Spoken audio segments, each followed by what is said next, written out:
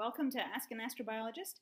Um, I am Dr. Victoria Meadows. I'm a professor of astronomy at the University of Washington, and I also work as the director of the UW's astrobiology program.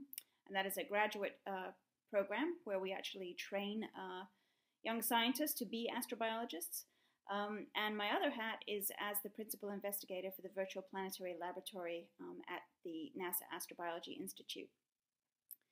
So, um, as you can tell from all of those roles, I, I, spend a lot of my time doing administration of science, and so I, um, I am both a scientist and a science administrator. Um, when I'm doing my science, um, I'm working on trying to understand how we would recognize and characterize habitable exoplanets. Um, so planets found orbiting around other stars, trying to learn what their environments might be like, um, whether or not they're capable of harboring life and doing all of that from, you know, a, a very great distance from the distance to sort of the nearby stars.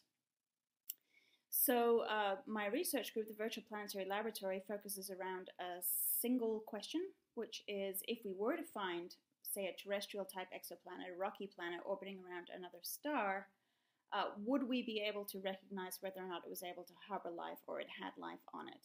And so the whole team works towards trying to understand what planetary environments are like and how life makes an impact on a planetary environment that might be visible over very large distances. So that's the scientific research we work on, sort of in a nutshell.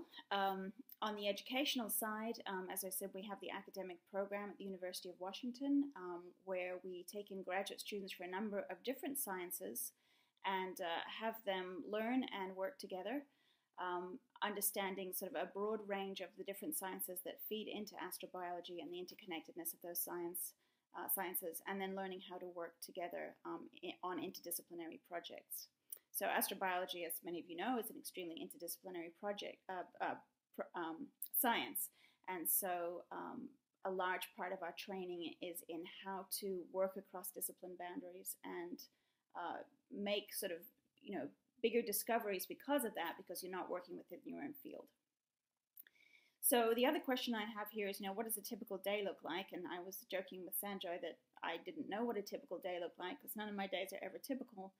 Um, and I think that's true, and that's one of the things I really love about being a scientist um, in particular is that honestly you don't know what's going to happen that day when you turn up in the morning, um, especially when you have administration uh, in your science as well and I think that's fantastic. I mean, I've I've been frustrated at work, uh, you know, and and, and there have been many sort of different challenges at work, but I have never ever been bored. Um, but if I can try and give you an idea of what sort of some days might look like, um, typically, you know, I come in in the morning and I check in with Tina, our administrator, to make sure there aren't any crises that have evolved uh, overnight or anything that's come in that we need to address um, quickly. So that might involve uh, something to do with, with the students or something to do with sort of fiscal parts of, of the science project I run. Um, and then the rest of the day might involve some teaching, um, if I'm teaching that quarter, uh, meetings with my graduate students to go over their scientific research, and that um, is really the best and most exciting part of my day because they often have great things to show and share, and uh, so I really enjoy those. Um, and then, of course, I have the team meetings of the research group um, uh, at, at, large. And so we sort of get together and also talk about what other research um, people in the team have been doing. Um, and I spend a lot of my time nowadays, at this stage in my career, reviewing things, you know, reviewing people's papers, reviewing people's proposals. Um, so, uh, or reviewing proposals that have to go out. So there's a lot of administrative and academic reviewing. Um, and then at the end of all that, there's a small amount of time to work on science, um, typically not on any given day, and, and, and, typically I have to kind of carve my science out in the evenings or the weekends, but I do enjoy sort of trying to keep up on that. And the summers in particular are great. But normally it's, you know, it's, it's kind of the sort of day, I think some people think scientists just disappear into a lab and uh, that's all we work on.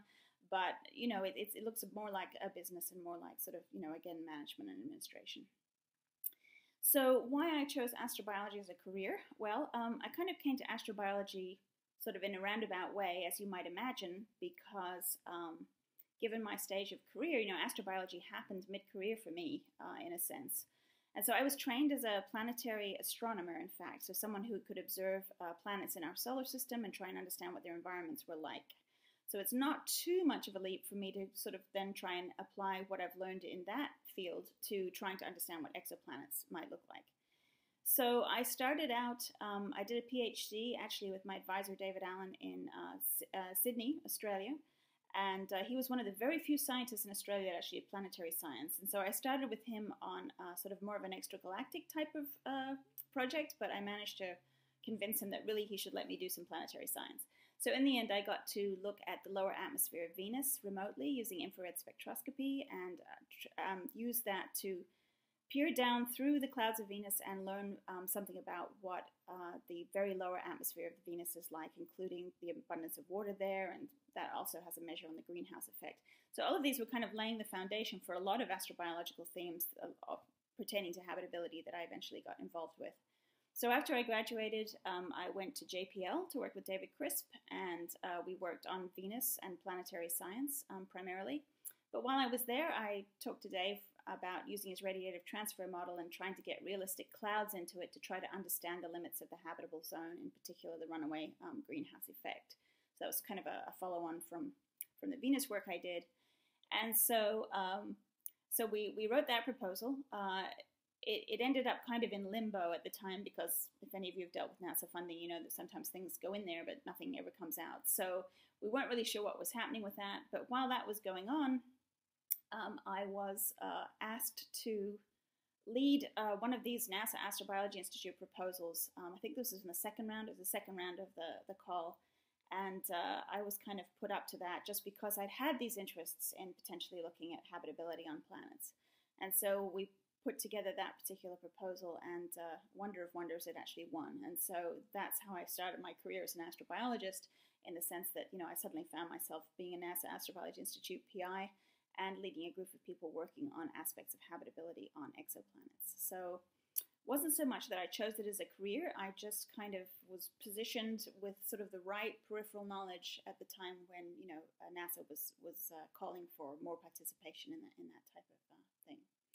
And I, I, think in a general sense too, I've, I've always been interested in science fiction and um, I watched Cosmos and Carl Sagan when I was younger and was very impressed by that. And, and that was part of what helped me decide to go into astronomy and to be interested in planets in particular. Um, and so that's kind of the, the, the, general, you know, way back background um, on that.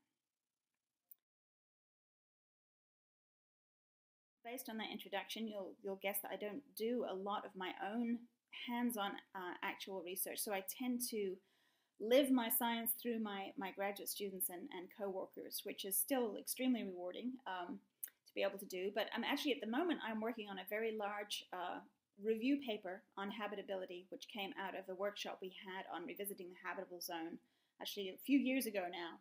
Uh, and I would like to get that wrapped up this summer. So I am working on actually an interdisciplinary synthesis of all of the aspects that lead to planetary habitability, and it will be a fairly sizable review paper that I hope to have um, submitted by the end of the summer.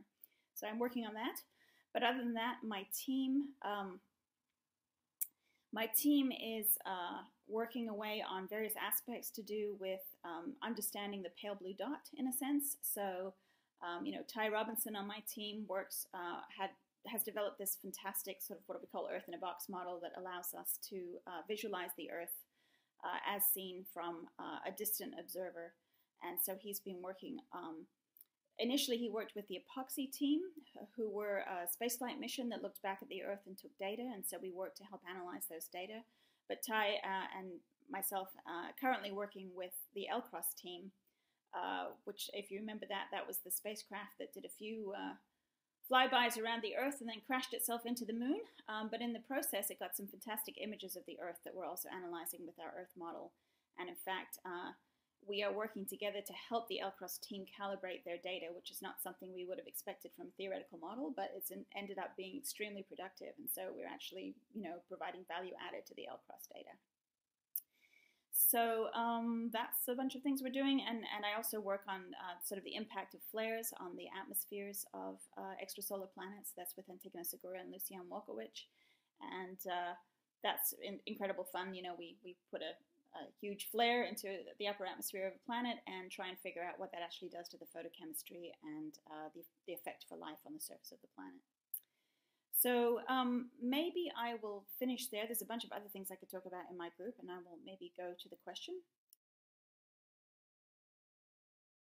So one of the questions here is on the topic of Cosmos. How do you feel about the new Cosmos coming out with Neil deGrasse Tyson? Um, well, I mean, I, I, I think I'm kind of torn about that. I think I think the original Cosmos is a classic, and I think it's still, you know, still relevant and and very good today. On the other hand, you know, graphics and um, special effects and everything have evolved so much that maybe it is in fact time for uh, a new version of this that could potentially be, you know, a little bit more uh, visually arresting. Um, so that might be that might be cool. So we'll see how that goes. So the other question I have is, what are the advantages of being an astrobiologist versus a unidisciplinary scientist? Right. Um, I think I think it's the interactions primarily, um, and also the chance to tackle questions that are so big that you couldn't possibly uh, make any headway with them as a unidisciplinary scientist. So, you know, with, within a given field, depending on when you come to that field, a lot of the really cool questions that um, may well have already been answered early on. You find that in fields, it's like people publish papers in the 60s and 70s, and you think, oh, wow, you know, it must have been great to be the first people to figure out what the clouds of Venus were made of, or, you know, that kind of aspect. Um, but of course, in any field, as, as, as we say, research tends to open more questions than answers.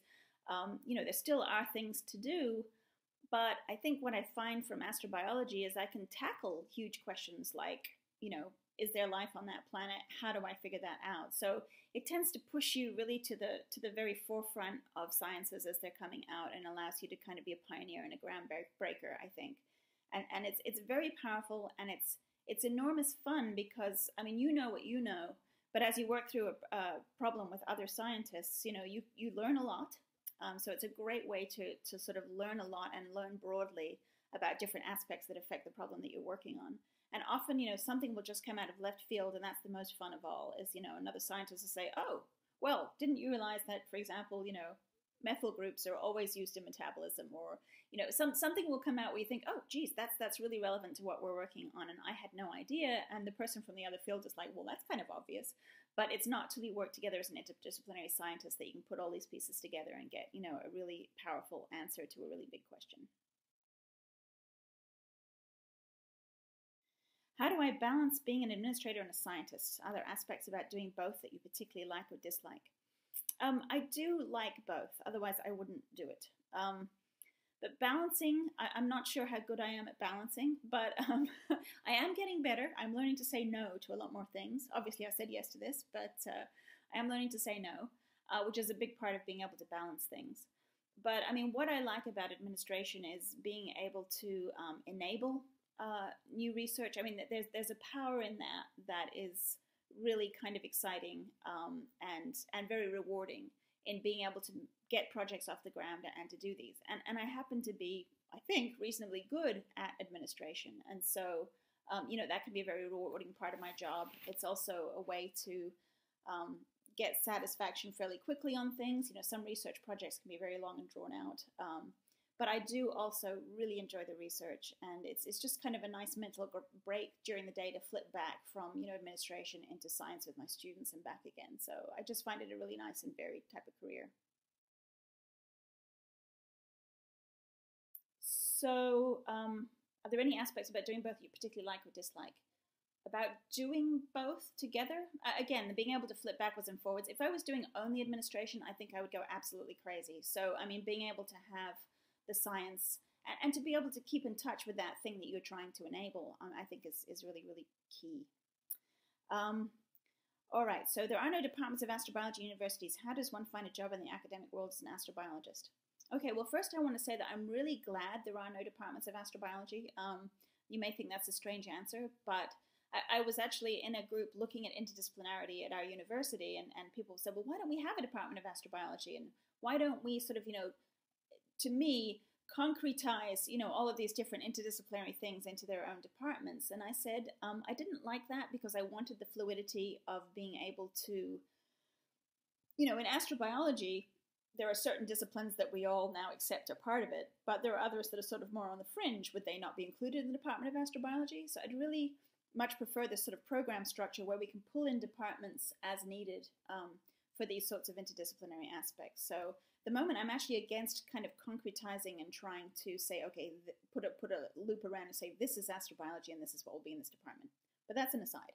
But how does one find a job in the academic world as an astrobiologist?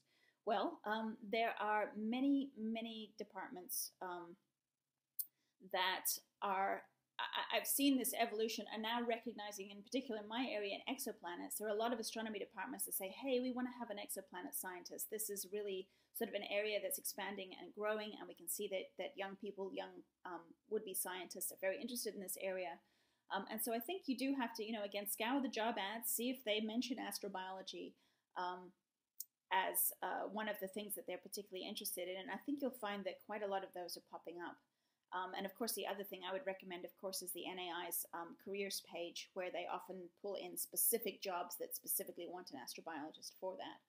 Um, the other thing, of course, is to be a stealth astrobiologist, is to come in with your, your main discipline, the discipline you were trained in, um, and then, you know, once you're in an academic position, you can start doing, you know, pretty much anything within reason. Um, and so you can uh, potentially expand out and bring your astrobiology to that department. And I know many of our students have gone out and done that sort of thing. Okay, hi Vicky. So from Rika, um, along those lines, have you seen that having an astrobiology background has helped early career scientists get jobs, or do you think there's a lingering prejudice against the field because it's so new and because of the damage done by the arsenic paper? Okay, um, I think, and I'll just get my head back on screen here.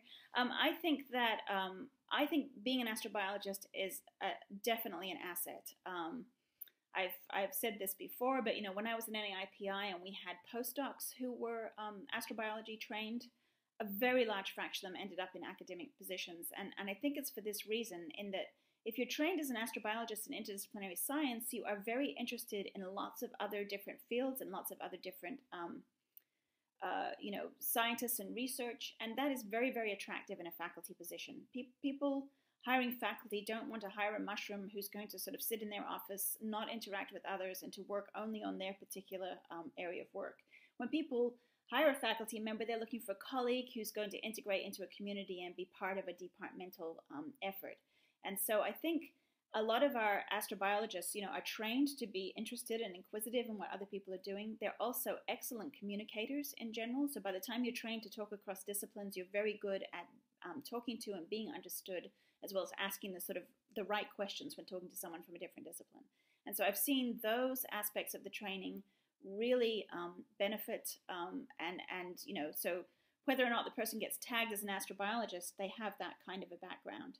So um, as far as you know prejudice from sort of some of the the things like the arsenic paper i have not seen that but then i'm speaking from an exoplanet perspective where i don't think that you know that that hasn't really impacted us quite as much um, overall might be different in the biological sciences for example um, but you know I, I think definitely it's an asset and and i just see the the students who are trained as astrobiologists go out and are just i think excellent faculty members.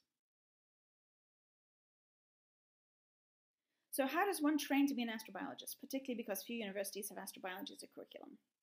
Okay, so the, the first rule you have to learn in training as an astrobiologist is you have to have a grounding in a core discipline. That's absolutely crucial. Um, and that's because that has to be the base and the foundation from which you have something to offer to other people as part of this interdisciplinary science aspect.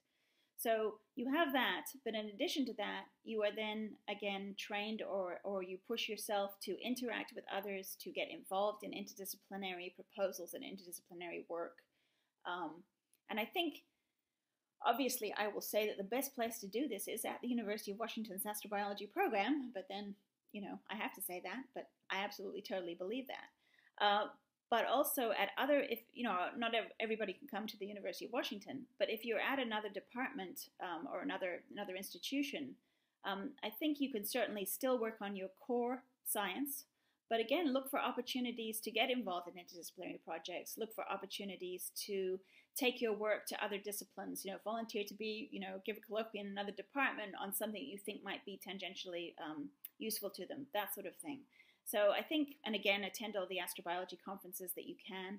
Um, but that that would sort of be sort of a do-it-yourself try and train as an astrobiologist, but it also certainly would help, of course, to go to um, one of the departments, uh, one of sort of one of the institutions that has this type of program, and there are several. There's Penn State, there's Arizona State, um, there's UW, uh, and there are other again other departments across the um, the country that are really starting to to understand that astrobiology is good for attracting bright young scientists, especially those with sort of very high curiosity levels who who like to be creative.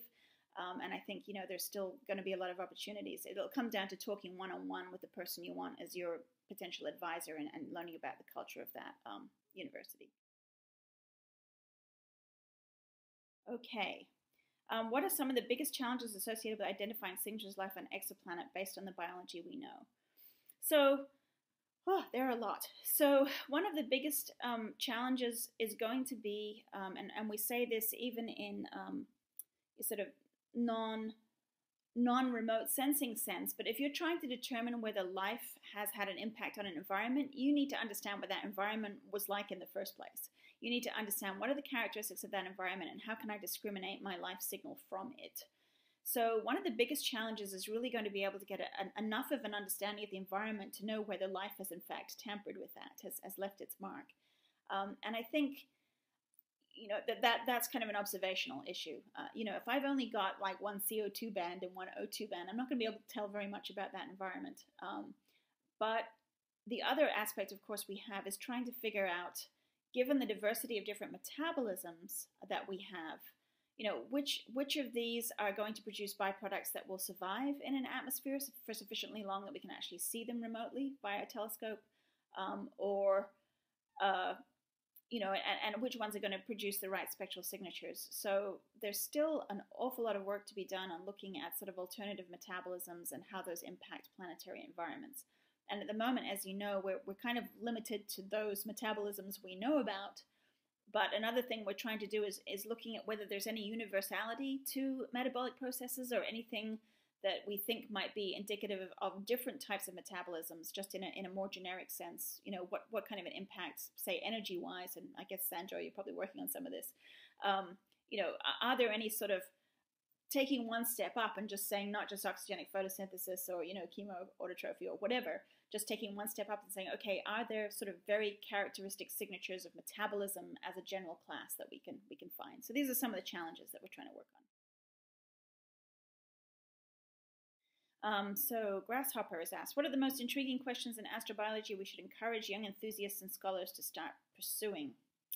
Oh gosh. Um, um, well, there is a roadmap. Um, I think so. So from my perspective, uh, I, I think part of that is definitely biosignatures. I think I think we have been focusing on habitability. This is for exoplanets, of course, speaking from my perspective. We've been focusing on uh, habitability, but I still think, again, there's an awful lot of work that needs to be done to push past this sort of, um, not quite dogma, but this sort of rut that we've fallen into of saying, you know, we want to see oxygen because oxygen represents, you know, oxygenic photosynthesis. I think that is maybe an extremely highly likely um, biosignature, but we need to start looking at other aspects as well and to figure out what sort of again are the probabilistic signs that we are going to see? What things are going to be more likely um, given a different planetary composition? Um, so I, I sort of put forward that as one of my one of my key questions. Okay, so what's the next one? As the subject of astrobiology expands, what other subjects are up and coming that could be a potential for study? Um, okay, let me think. So I think definitely, I, I think we still have a lot to do in the origin of life. Um, that's that's still in a in a sort of state where you know we really have again just a lot to do in that particular area. So I think the origin of life, the evolution of metabolism, the interaction of metabolism with its environment, and then how that leads to biosignatures. These are all, I think, sort of very interesting areas for um, for astrobiology to be in at the moment. Um, okay, so Julia's asked, when do you think we will have solid technology to be able to observe spectral signatures interesting for life? Okay, so I think, you know, our very first chance of that is going to be the James Webb Space Telescope. which may potentially be able to pick up um, oxygen signals, for example, um, for super Earths, or if new research we're, we're working on is, is correct, maybe even potentially for smaller planets than that.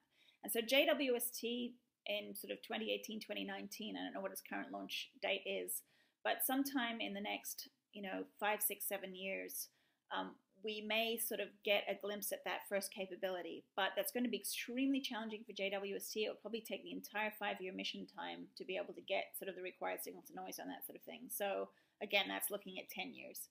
And that's our best bet. And maybe it's only one target.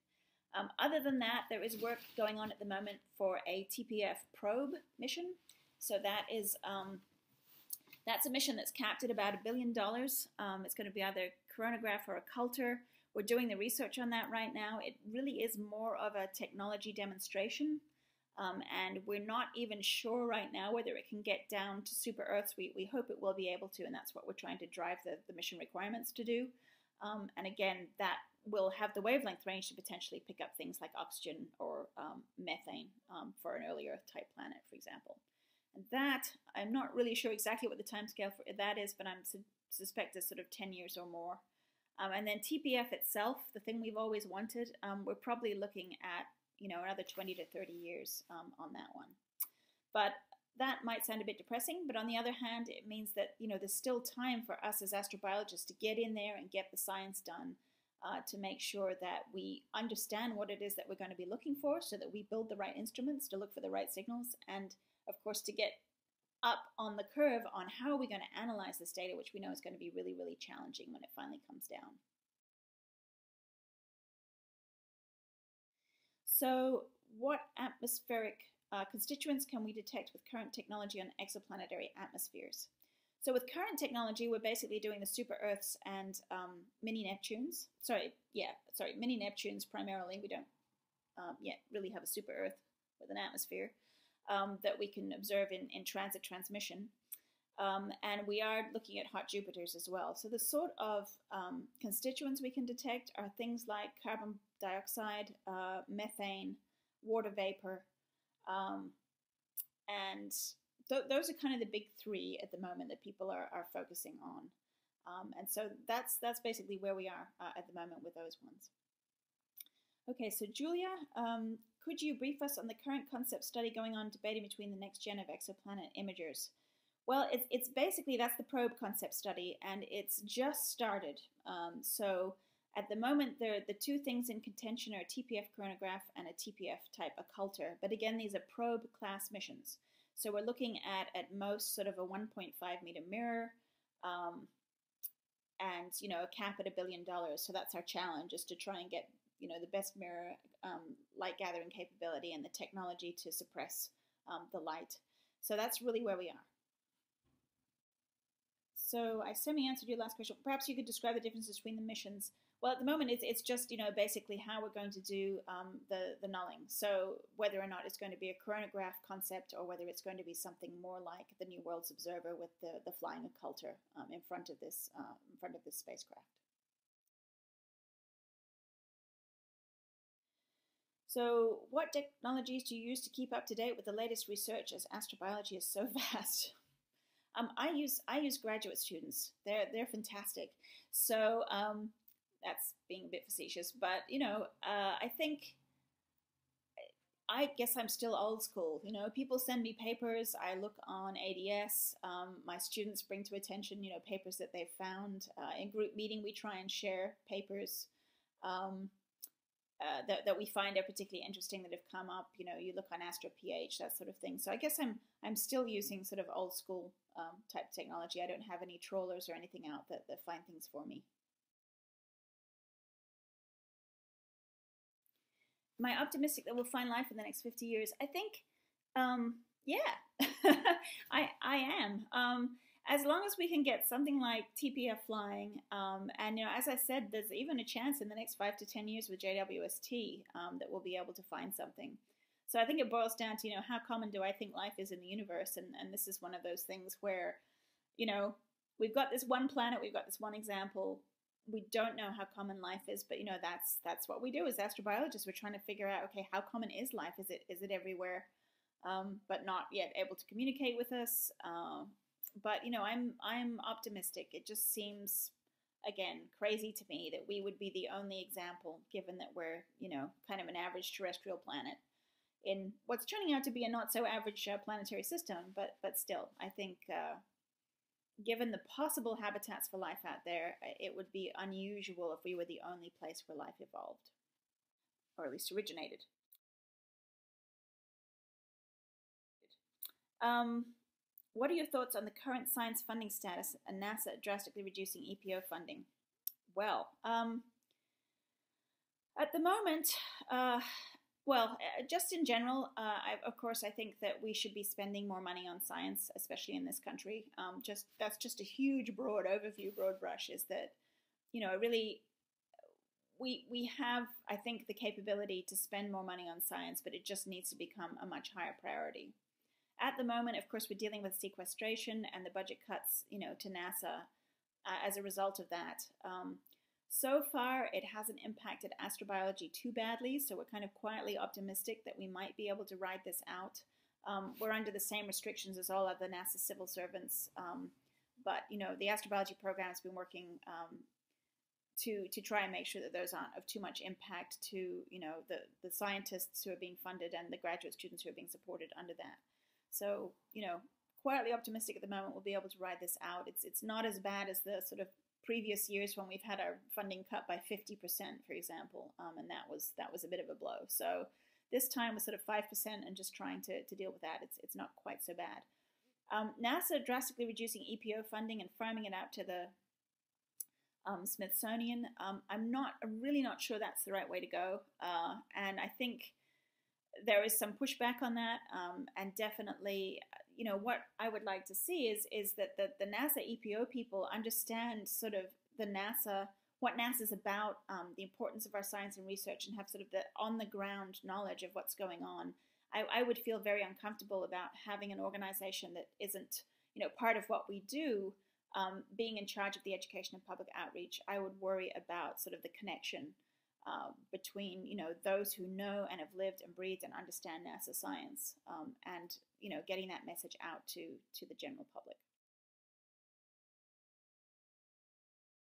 So Sarah, how do you think origin of life research and exoplanet biosignature research might best inform one another? Hmm. Um, I think again this might go back to sort of the universal universality of life's characteristics if there's anything we can learn from Origin of Life about how life originates and comes together, um, that can then inform us on what sort of environments we should be looking for, um, you know, for, for, for ones that would originate life, and also gives us maybe a handle on, on this idea of trying to find sort of a universal biosignature, something that many metabolisms produce that we could look for um, in particular. So I think, yeah, and and the stuff that you know we can feed back as as exoplanet scientists we also look um, you know VPL has looks back to the early earth and tries to understand the different types of environments that were there. If we can help you through any of our techniques constrain what those early environments were like then we can feed back into you know okay this is what we think the very earliest um, environments were like. This is where life would have originated. So i think there's there's definitely a feedback um, between those two areas So, Julia, when you talk about JWST, is that using the eclipsing method to find biosignatures or anticipating an occulter will be funded eventually? Um, JWST, what I was talking about there was transit transmission spectroscopy. So, that is just using JWST alone with no extra spacecraft um, and just looking at sort of light passing through the atmosphere of a planet as it transits in front of a star. Um, the occulter, I'd love to see an occulter fly in front of JWST. Um, I just don't know what's going to happen with that. Um, and I know that we're not allowed to modify JWST in any way to support that type of um, a spacecraft, like not being able to have anything to help with the alignment or whatever. So it, it looks a bit challenging. But I mean, now we have this probe study where you know an occulter is in um, contention as a as a technology uh, demonstration. So that is potentially one way where you know, an occulter type mission could get a foot in the door. But again, that would not be on the same time scale as being able to put it in front of JWST. So I guess, Julie, at the moment, I really don't know what's happening with um, flying occulter with JWST, but the fact that we're sort of diverting all of our energies into this probe um, development does seem to suggest that, that maybe that's not on the table at the moment.